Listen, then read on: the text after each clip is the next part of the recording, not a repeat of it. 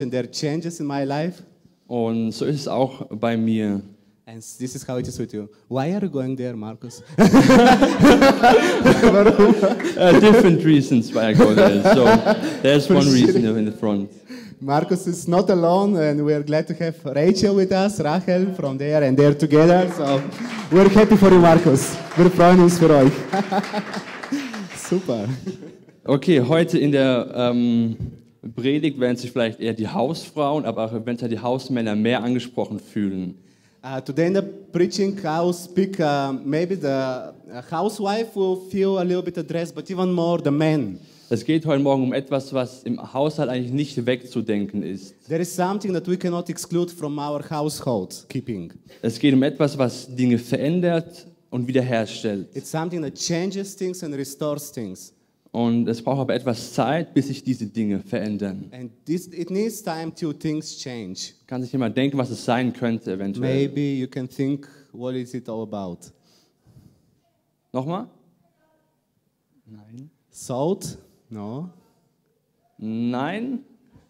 Jawohl, eine washing Waschmaschine. machine. Die Waschmaschine. Es geht heute Morgen nicht um irgendeine Waschmaschine, es geht um die Waschmaschine Gottes, wo jeder von uns durchgeht. And today is not about any washing machine, but about the washing machine of God that He goes through with every one of us. Und lasst uns aufstehen und aus Hebräer 12, Vers 11 lesen. Shall we stand up together and read, read from the Word of God from Hebrew 12, verse 11? Hebräer 12, Vers 11. Hebrew 12, verse 11. Alle Erziehung bedeutet freilich für den Augenblick nicht Freude, sondern bringt Schmerzen mit sich. Später aber erwächst daraus für alle, die sich diese Übung gefallen lassen, eine friedvolle Frucht der Gerechtigkeit.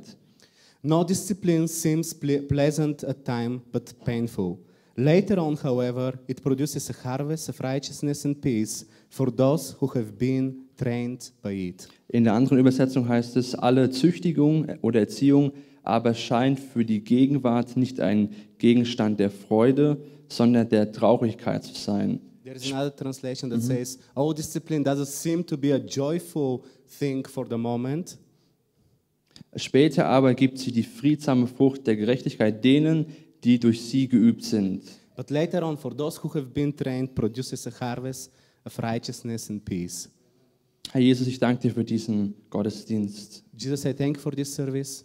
Ich danke, dass deine Gegenwart schon im Lobpreis spürbar ist, I Herr. thank that we could feel your presence already in the worship time. Und danke, dass du möchtest, dass wir hier verändert rausgehen. And thank that you want that we go out changed. Und lass wirklich unsere Herzen offen sein, dass du uns verändern And darfst. let our hearts be open so that you can change us. Und gib uns wirklich einen klaren Verstand, Herr, wirklich eine reine Gedanken, Herr. Give us a clear mind and pure thoughts. Und Herr, es geht nicht um mich, es geht um dich allein heute. It's not about me, it's only about you, Jesus, this morning. Ich danke dir, Jesus, für deine Gegenwart und für dein Wirken. Thank you for your presence, for your work among us. Amen. Amen. Ihr dürft euch setzen. You may be seated. Es gibt ähm, eine Person in der Bibel, die ich persönlich sehr stark mag, das ist Abraham. There is a person in the Bible that I like very much. It's, it's Abraham, Für mich ist er echt ein radikales Vorbild. and it's a real example for me. Und in 1. Mose 22, Vers 1 sehen wir, And in Genesis 22, verse 1, we see, und da steht, und es geschah nach diesen Dingen, dass Gott Abraham prüfte. and it happened after these things that God tested Abraham. Das heißt hier, nach diesen Dingen. Das heißt, es muss etwas passiert sein, ähm, dass Gott Abraham geprüft hatte. So after those things, something must have hap- happened before that God tested Abraham. Und wenn wir so das Leben von Abraham betrachten, gibt es immer wieder verschiedene Stellen und Situationen, wo Abraham durchgehen musste. And when we look at the life of Abraham, we see different phases and situations that he had to go through. Und da gibt es verschiedene Begebenheiten, wo er wirklich ein Opfer bringen muss oder durch Veränderungen durchgehen musste, damit ihn Gott später wirklich gebrauchen konnte oder er zum Segen wurde. Those were situations when had, he had to bring an offering and some, he had to give up something so that later it, he can become a blessing. Und da gibt es drei Opfer oder Veränderungsprozesse, durch die Abraham durchging. And there were three uh, transformations or offerings that Abraham had to go through. Ich lese nicht die einzelnen Bibelstellen, ich sage euch diese drei Punkte. I will not read every passage, but I will mention these three points. Genau, also Gott, Abraham, Gott beruft Abraham, sein Heimatland und seine Verwandtschaft, seine Gesellschaft und Kultur zu verlassen. First of all, God calls Abraham to leave his own country and his own people. Das ist das erste Opfer, das er bringt. This is the first big uh, offering that he has to bring. Dass Gott ihm zum Segen setzen kann, musste Abraham seine Familie und sein Umfeld verlassen. In order that God make him a blessing, he had to leave his own country, his own people. Nur sein einziger Ver Verwandter Lot und seine Familie ist noch bei ihm. Only Lot and his family were able to go with him. Und das ist das zweite Opfer. Er muss sich auch später von Lot, seinem engsten Verwandten, trennen. But there later on, he had to separate even from Lot. Und auch später muss er dann bei seinem dritten Opfer seine eigenen Pläne bezü bezüglich seines Sohnes Ismaels aufgeben und auch sich von ihm trennen. And the second offering was with Lot. And the third offering, when, when God tested Abraham, that if he is willing to give up even his own son. Richtig. Und bei all diesen Glaubenserfahrungen musste Abraham irgendetwas von sich geben, was auf natürliche Art und Weise für ihn kostbar war. And through these uh, experiences, Abraham had to give up something that was very precious to him. Und er musste durch diese Veränderungen durchgehen. And he had to go through this transformation. Und ich kann mir vorstellen, dass es schmerzhaft war und irgendwo für ihn auch Überwindung kostet hat, dazu sagen, ja Gott, ich folge dir. And I can imagine how much it costed to him and that it was painful for him to follow God in this offering. Aber auf jede dieser Erfahrungen folgt eine ganz besondere Segnung von Gott. But after all these experiences, every time there was a special blessing from God following. Wir sehen in 1. Mose 12, We see that in, in Genesis 12, als Abraham aus seinem Heimatland rausging when Abraham moved out from his home country und seine Verwandtschaft verlassen hatte. and he left his own people, Also praktisch sein Umfeld, wo er wirklich aufgewachsen war, wo er es eigentlich wohlfühlte, his surrounding, his protected area of his relatives, wird Abraham dadurch ein Werkzeug des Segens Gottes für die Welt. we see that God, Abraham becomes an instrument of blessing from all, for all the world. Und Gott hat praktisch eine Verheißung auf sein Leben und seine Nachkommen gesetzt. And God gave this promise on his descendants. Und auch als er sich von Lot trennen muss, When he had to separate from Lot, da sagt Gott auch, ich werde deinen leiblichen Nachkommen das Land als ewigen Besitz geben. God promised to give the land to the descendants of Abraham. Auch für dieses Opfer segnet Gott Abraham. Also, after this offering, God blessed Abraham. Und auch als er seine eigenen Pläne für Ismael aufgibt And when he gave his own plans for Ishmael, und dann später mit Sarah ähm, Isaak bekommt, genau, and when he later uh, got Isaac as a son from Sarah, wird der Bund zwischen Gott und Abraham gesichert. then the covenant between God and Abraham was finally finalized. Und aus Jakob entsteht dann das Volk Israel. and from Jacob, the, nation of Israel came forth. Und aus Israel kommt dann- später der Heiland und der Retter Jesus. and from Israel came out the Messiah. Und es hat alles angefangen, nur weil Abraham gehorsam war und willig war, Opfer zu tun. And it started because Abraham was willing to give an offering. Und Gottes Wille für unser Leben ist auch Wachstum und Veränderung im Glauben. And the will of God for our lives is also that we can grow and we can be transformed in faith. Und ich hatte ja vorhin gelesen, da, dass ähm, in 1. Mose 22 heißt es, und es geschah nach diesen Dingen, also nach diesen Opferungen und Veränderungen und Segnungen, And as I said already in Genesis 22, it says, after these offerings happened this to Abraham. Und da geschah Folgendes. And this is what happened. Und Gott sagt zu Abraham, er soll seinen Sohn Isaak opfern. God says to Abraham, you should uh, give us an offering, your son. Und hier wird das erste Mal im Wort Gottes das Wort Liebe benutzt. And here, for the first time in the Word of God, the word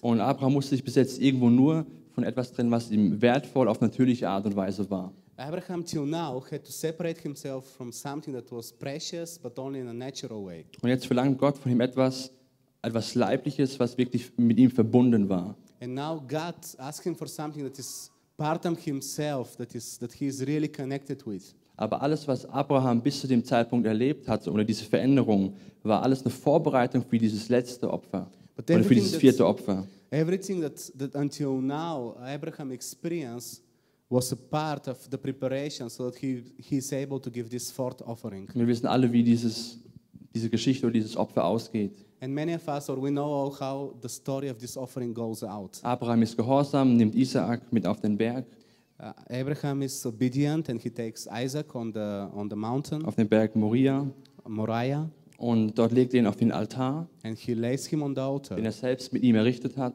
And he prepared the altar and he laid him on the altar. Und ich kann mir das immer so gut vorstellen, er ist bereit, ihn zu opfern. And I can imagine how he's ready to offer his son.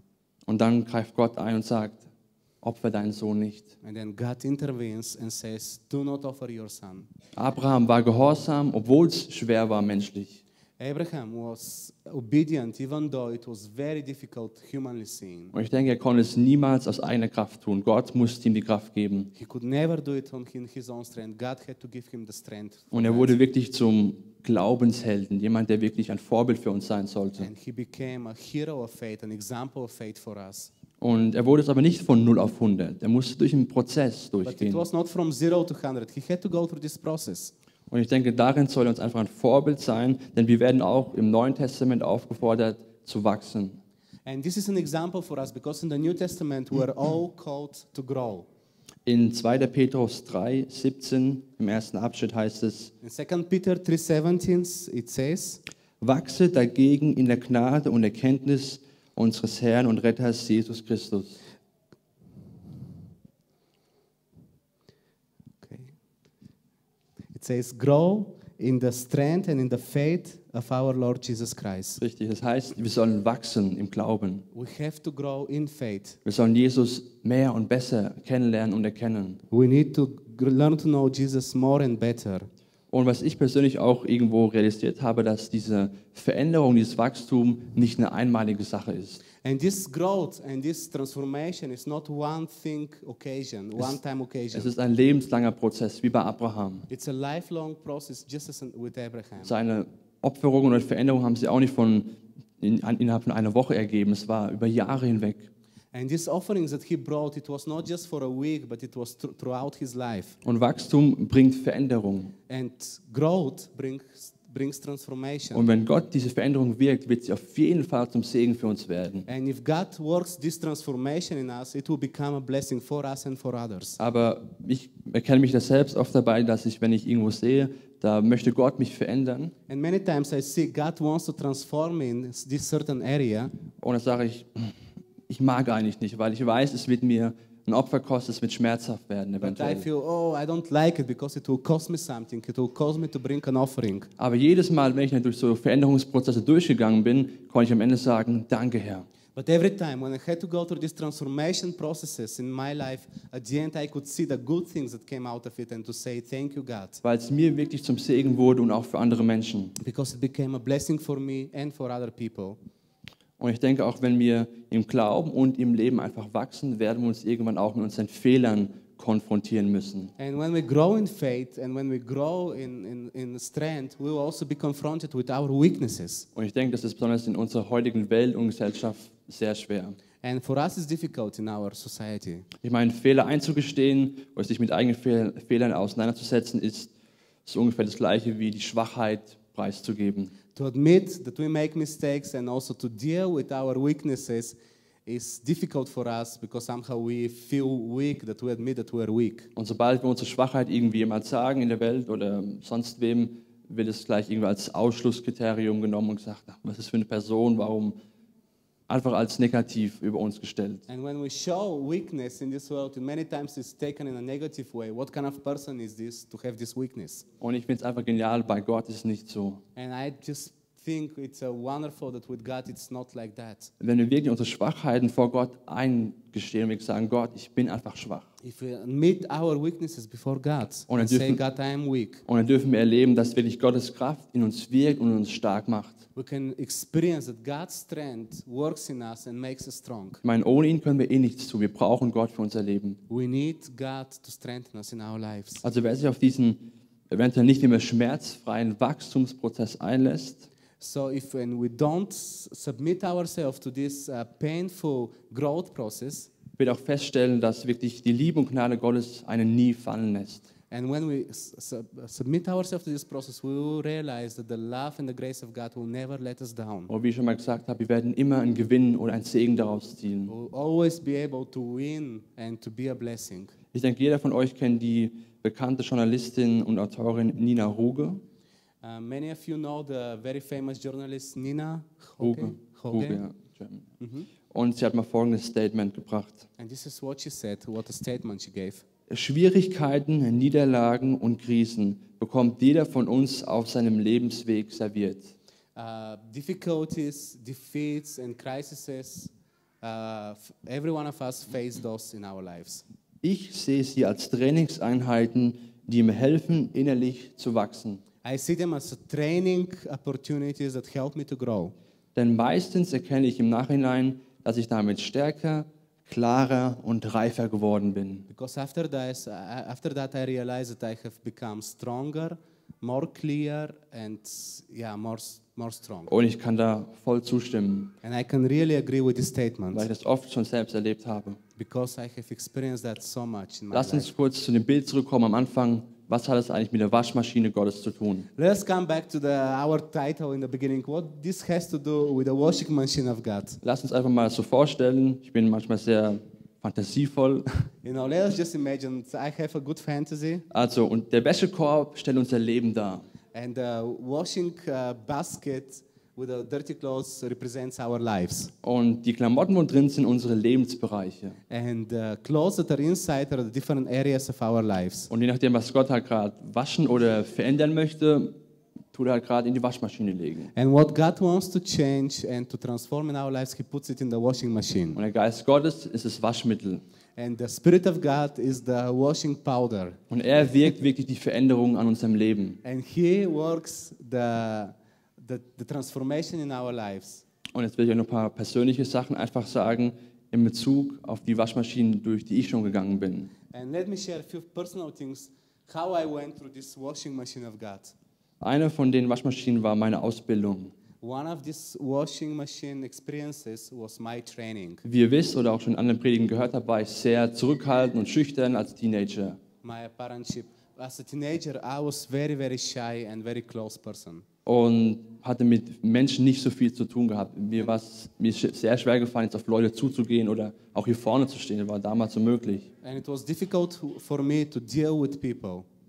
Und ich kam in diese Ausbildung rein und da hat Gott wirklich die Tür geöffnet, dort die Ausbildung zu machen im Einzelhandel. And I came to this apprenticeship opportunity as a salesman, and God put me in this place. Und dort musste ich mit Menschen umgehen oder einfach lernen, mit ihnen umzugehen. And there I had to learn to deal with people. Und da hat mich Gott einfach verändert, wirklich auch diese Schüchternheit weggenommen und wirklich mit Freimütigkeit ersetzt. And God changed me in this time of apprenticeship, and He ch- exchanged my shyness for a, for a coura- co- courage and boldness. Und ich durfte auch lernen, unter Stress zu arbeiten und wirklich auch darin gelassen zu bleiben. And also to be able to work in a stressful situation and still to keep uh, cool in that. Genau, und mein Selbstbewusstsein ist auch in dieser Zeit einfach regelrecht explodiert, es wurde wirklich stärker. And this became a strong side in me. God helped me in that. Und dann kam ich auf ETS And then I came to ETS, und jetzt kommt der geistliche Teil. and this comes the spiritual part of the washing In machine. der Ausbildung wurde ich menschlich und charakterlich geformt und verändert. In this training, I was challenged in a personal way, in a spiritual way, Und jetzt kam ich auf ETS. and this is a TTS. Das war dann vor, vor drei Jahren. Zwei, Three- vor, three- vor zwei Jahren. Two years ago. Genau, und ähm, dort konnte ich wirklich erfahren, diese Freimütigkeit geistlich anzuwenden, in dem Form von Predigen zum Beispiel. To learn to be courageous and to, to be able to share spiritual things. Und auch dieses Selbstbewusstsein hilft mir einfach hier vorne zu stehen, vor euch und einfach so mit euch zu sprechen oder einfach das Wort zu bringen. and to be courageous, to, to stand before you and to be able to share the word of God. Und auch während dem Studium bin ich jetzt, auch wenn ich irgendwie im Stress bin, nicht gleich Kopf ins Sand oder was weiß ich, sondern ich weiß damit umzugehen. And during the studies, when it gets stressful and difficult, I don't put just my head into the sand, but I have learned to deal with that. Aber das Genialste an der ganzen Sache ist auch einfach, wenn ich mit Menschen über das Evangelium spreche, fällt es mir viel leichter. But the most uh, wonderful thing, the greatest thing that I experienced, when I speak with people about the gospel, about Jesus, I can, I can do it much more freely. Ich meine, wenn ich mir damals vorstelle, wenn wir irgendwie auf der Straße waren als Gemeinde, ich habe so gut wie mit keiner Person gesprochen, weil ich einfach, ich konnte es nicht. Ich war einfach zurückhaltend. When I remember back then, I, when we went on the streets to speak with people, I could not even talk to a person. I was so much closed. Und heute kann ich auf eine Person zugehen, ohne großartig drüber nachzudenken, oh, was denkt sie vielleicht, warum ich jetzt zu ihr komme, sondern einfach, ich habe einfach diese Freimütigkeit, dort zu der Person zu gehen. And today I could approach a person and I feel free to go and to talk to pe- people. Und es hat Gott gewirkt, angefangen bei der Ausbildung. And God worked that through this time of training. Und eine andere Waschmaschine, die bin ich gerade aktuell mit drin, Another washing machine that I'm found in at the moment, ist die Beziehung mit Rahel. it's a relationship with Rachel. Ich meine, jeder weiß, dass auch so ein Lebensabschnitt irgendwelche Herausforderungen bringt. And everyone knows that relationship bring also Ich challenges. meine, ich habe niemals gedacht, dass ich mal so verliebt bin, wie ich jetzt bin. I never thought Und, I never thought that I would be so much in love as I am now. und ich hatte immer zu, zu Gott gesagt, hey, ich will echt eine Freundin, eine Frau haben, die wirklich nach deinem Herzen ist. Und dann kann ich auch wirklich sagen, betet für so Sachen. Jetzt bestimmt die, die Jugendlichen angesprochen. I want to encourage you, all the young people, pray for these things. Und es hat bei uns auch über ein Jahr gedauert, bis wir wussten, hey, Gott ist da am Start und hat seinen Arm und Segen dazu gegeben. And it took us a year to realize that God is behind this relationship and He wants us to, Und- to go into this Und ich relationship. kann jetzt wirklich sagen, dass die eine Gebetserhörung für mich ist. Really. Aber auch in so einer Sache brauchen wir Gottes Hilfe But in these situations, we also need God's help. und es ist auch eine Waschmaschine, wo wir durchgehen, weil Mann und Frau einfach zwei verschiedene Menschen sind. And it's also a washing machine because men and women are very different. Und wenn Gott wäscht, dann wäscht er auch manchmal mit verschiedenen Einstellungen. and when God washes us, He puts also different programs for washing. Und ich habe mir die Woche auf der Schule mal so eine Waschmaschine nochmal genauer angeschaut. And this week, I look at the school exactly the different programs of the washing machine. Ich meine, seit ich auf der Schule bin, habe ich gelernt zu waschen. Ich meine, hatte ich am Anfang nicht perfekt geklappt, aber es war gut. Dann am Ende so langsam. And since I'm in the Bible school, I also have learned to use the washing machine. At the Ich beginning, it was not so great, but now it works. Ich glaube, das erste Mal, wo ich gewaschen hatte, ähm, habe ich das Zeug in die Waschmaschine. Ich weiß gar nicht, auf welchem Programm. Habe, glaube 30 Grad, Buntwäsche, egal was drin war. Habe es alle rein. And first time when I wash, I had 30 degrees and all the colors mixed inside. Und habe ich mir gedacht, der Trockner, der ist gut, der ist eine gute Hilfe für mich. Ich schmeiße alles, einfach alles rein. And I thought, in the dryer, I just put everything in the dryer. Und da war auch meine Schlafanzughose drin und die waren am Ende so, glaube ich. And my trousers went that short Ja. after that. Passiert, die Erfahrung habe ich gemacht. Jetzt weiß ich, was ich in welchem Programm waschen muss und was in Trockner soll und was nicht. And it's important to know or to, to understand also the programs. Na, aber ich bin froh, dass es bei Gott nicht so ist, dass er weiß, was für ein Programm er wählt und wie er wäscht. But God knows which programs to use and how to take us through the washing. So, es gibt drei Programme, die ich gefunden habe. Es ist Koch- und Buntwäsche, Feinwäsche und Pflegeleicht. there are three programs that I found: uh, the boiled and cover uh, clothes, Genau. Koch- und Buntwäsche, Feinwäsche und the, then the fine, the fine clothing, and the 30 degrees, uh, like uh, easy, easy clothes. Yeah. Genau. Und habe ich überlegt, was könnten die einzelnen Programme so bei Gott darstellen? I, I thought what it can, s- how these programs can be applied to God. So, also Koch- und Buntwäsche habe ich gedacht, sind bestimmt die harten und robusten Lebensbereiche, wo er wirklich ordentlich was arbeiten muss, wo, wo vielleicht auch am wichtigsten sind für uns. And the boiling and the colorful things, these are the hard uh, to wash things, uh, areas in our lives that really hard to be transformed, difficult to be transformed. Und Feinwäsche ist eher so der sensible Bereich, wo noch kleine Dinge verändert werden müssen, so Details in unserem Leben. The fine washing is a sensitive areas in our lives when God needs to tune and to touch us in a specific sensitive areas in our lives. Und pflegeleicht ist dann der Bereich oder die Bereiche, wo Gott schon gewirkt hat, aber noch immer wieder verändern muss. And the easy washing is the areas where God already have brought through transformation, have changed us, but again and again we need to be tuned and to be fixed in these areas. Too. Und wenn man in dieser Waschmaschine Gottes einfach drin ist, tut es auch oft weh und kostet Kraft. And you know, when you're in the washing machine of God, sometimes it hurts and it also takes, it costs us some strength. Und in der Vorbereitung kamen mir einfach zwei Gedanken aus dem Wort Gottes. And as I prepared, two thoughts from the Word of God came to my mind. Und die kommen mir oft in Predigtvorbereitungen rein, wenn ich so über so ein Thema spreche.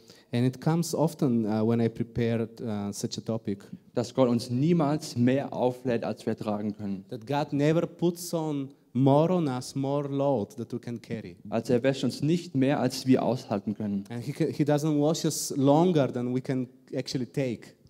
Und Römer 8 sagt auch, alles wird uns zum Besten dienen. And uh, Romans 8 says, everything works for good.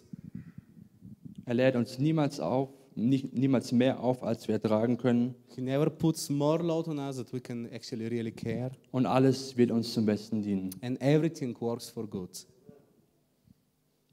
Und nach so einer Reinigung oder Veränderung durch den Heiligen Geist müssen wir auch schauen, dass wir fresh und clean bleiben. And after uh, such uh, cleaning and transformation from the Holy Spirit, it's our responsibility that we keep ourselves pure.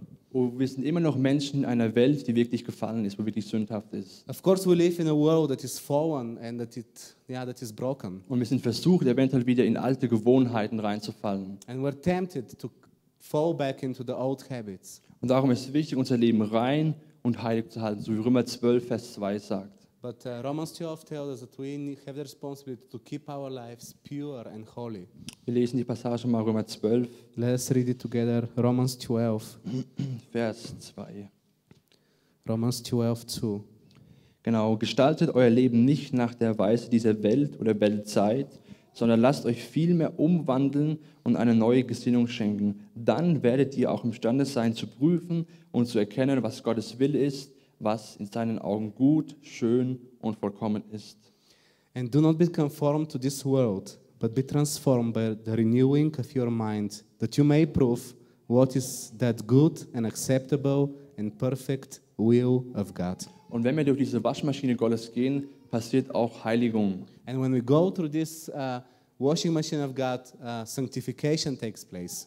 Und in 1. Thessalonicher 4, Vers 3 heißt es, Gottes Wille für unser Leben ist Heiligung. 1 Thessalonians 4 3 says that God's will for our life is holiness, Das heißt, sanctification. in dieser Waschmaschine werden wir verändert, aber auch geheiligt. In this washing machine, we will be transformed, but we will be also sanctified. Und unser altes Ich muss immer mehr absterben und Jesus immer mehr größer werden in unserem Leben. And our, our own ego and our own uh, self will become smaller, and Jesus increases and gets bigger and bigger. Und ich denke, dass wichtig ist, einfach ähm, diese Heiligung, an dieser Heiligung festzuhalten oder an dieser Veränderung, die Gott gewirkt hat. And it's important to hold strong, to hold tight this sanctification process in our lives. Und es gibt drei simple Sachen, äh, wo wir machen sollten, einfach, aber die praktisch eventuell schwer werden könnten. There are three simple things that we can do that are actually very simple and practical, but in the practice it- they are they're difficult. Einfach tägliches Gebet, tägliches Wortlesen und Gemeinschaft mit anderen Gläubigen. Daily prayer, daily reading in the Word of God, and uh, fellowship with the believers.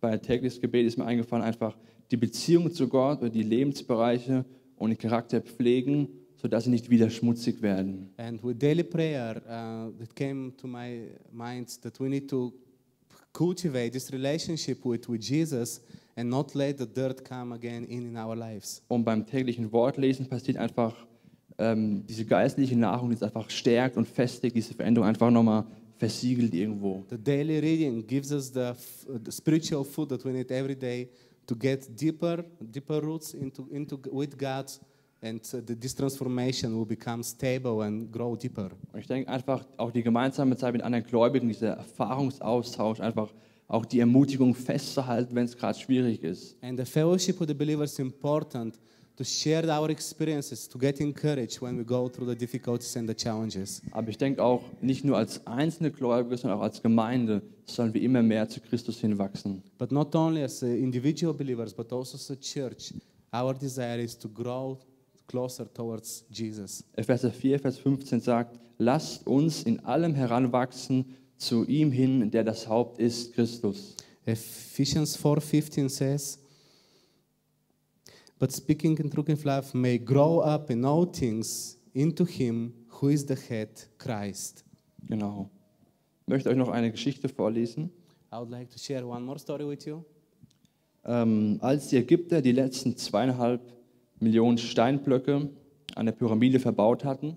When the Egyptians were building and putting the last two and a half thousand pieces, uh, stone pieces on the pyramid, Da haben sie ihr Werkzeug und ihre Sachen, mit denen sie gebaut haben, zur Seite gelegt und gemeint, so, es wäre geschafft. they put all their instruments on the side and they said, Yeah, now we made it. Und inzwischen sind 4000 Jahre vergangen und abgesehen von ein paar kleinen Schäden steht die Pyramide genau noch so da, wie sie aufgebaut wurde. And uh, now it's 4,000 years later, the pyramids are still standing there, just with a few small uh, bra- breaks, but they're still there, standing strong. Und die meisten Leute stellen sich auch so eine Bekehrung vor. And the most of the people, this is how they imagine the conversion. Und nach Jahren irgendwie, wo sie nach dem Lebenssinn gesucht haben und ihn endlich gefunden haben, haben sie gedacht, so, das ist es jetzt. And many people think, okay, once when I, I looked for the, sin, uh, the sense of life and now I found it through the conversion, that's it now. Sie, sie denken vielleicht, ach, es ist alles perfekt, jetzt muss ich noch warten, bis ich in den Himmel komme. Now everything's perfect, I need to wait till I come into heaven. Aber ich denke, dass es nicht so ist. But it's not like that, I believe. Wir sind nicht irgendwelche Monumente, sondern wir sind Organismen. We are not monuments or stone buildings, we are organisms. Und was wir erlebt haben an unserer Bekehrung, war einfach das Ende unseres sündhaften Lebens und ein Leben, wirklich ein neues Leben mit Jesus. What we experience at our conversion is that we end a sinful life and we begin a new life, a new path with Jesus. Aber in diesem neuen Leben findet Heiligung statt. But in this new life, sanctification takes place. Und die Kraft, die wirklich uns freigesetzt hat und wirklich uns einen neuen Verstand, eine, einfach eine Wiedergeburt geschenkt hat, die gibt uns auch die Kraft, wirklich immer Jesus ähnlicher zu werden. And this new birth, this process, gives us the, gives us the strength day by day to become more like Jesus. Weil keiner von uns hier ist perfekt. No one of us is perfect Und here. jeder braucht einfach noch diese Veränderung in seinem Leben. And everyone needs a transformation in life. Und wir sind und bleiben einfach in einem Veränderungsprozess, der manchmal schmerzhaft, ist, aber zum Segen für uns wird. We are and we remain in this transformation process that sometimes is challenging, but that all that we need that brings us close to Jesus. Lasst uns zusammen aufstehen. Let us stand up together.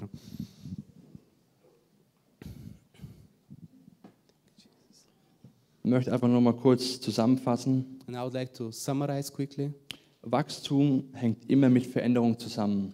Growth always is connected with transformation. Veränderung wird uns, wenn sie von Gott gewirkt ist, immer zum Segen sein. Transformation will become a blessing for us when it is from God.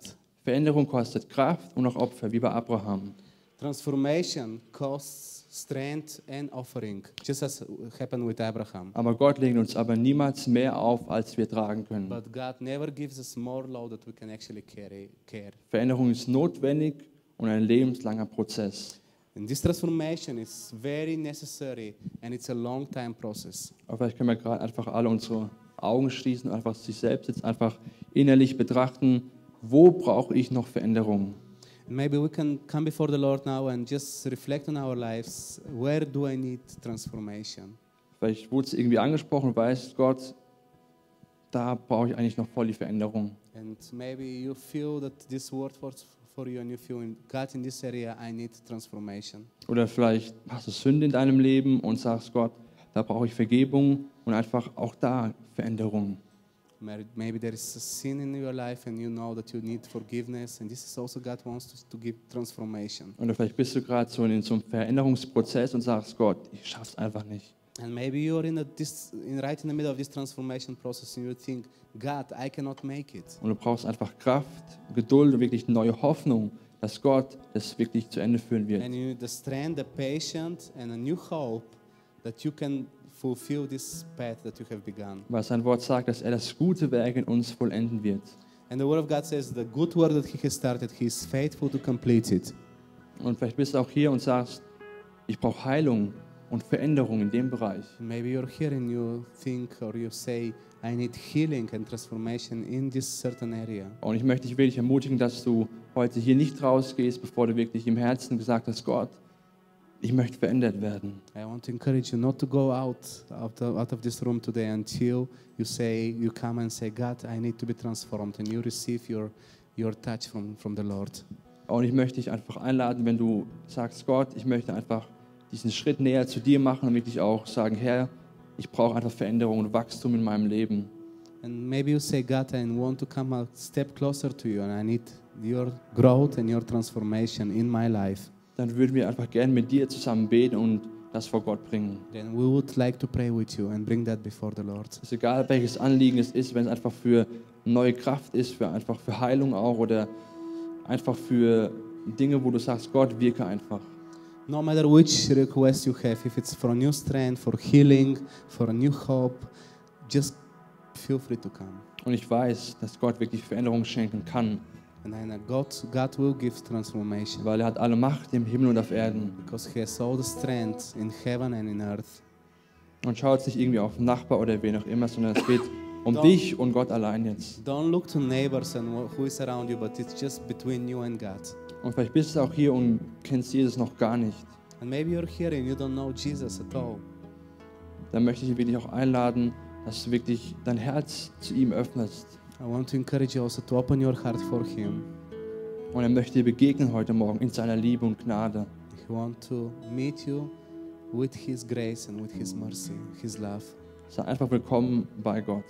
And you're welcome to God, Er wird dich God. niemals ausstoßen, wenn du zu ihm kommst. He will never turn you back if you come to Him. Egal, was du in deinem Leben gemacht hast, was du vielleicht auch gesündigt hast, Gott wird dir aufrichtig vergeben, wenn wir ehrlich sind vor ihm. God will forgive whatever has happened in your life if we're honest before Him. Sei ermutigt, nach vorne zu kommen. Wir würden gerne mit dir beten. Feel free to come to the front. We would like to pray with you. Amen.